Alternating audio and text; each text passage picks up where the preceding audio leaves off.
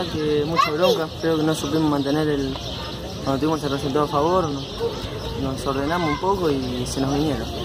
El equipo cayó en su nivel en la parte complementaria, ¿por qué?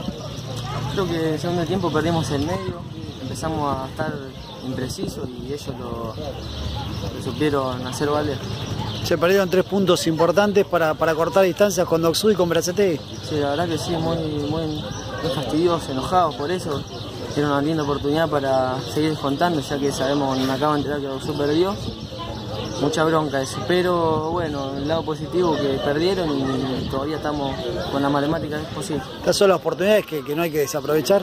Sí, la verdad que sí, porque creo que ellos no, no generaron, fueron por errores nuestros, descuidos nuestros y así llegaron a los goles. Eh, recién el técnico decía que los puntos que se pierde de local hay que ir a buscarlos de visitante. ¿Ahora hay que ganarle a Armenio el sábado?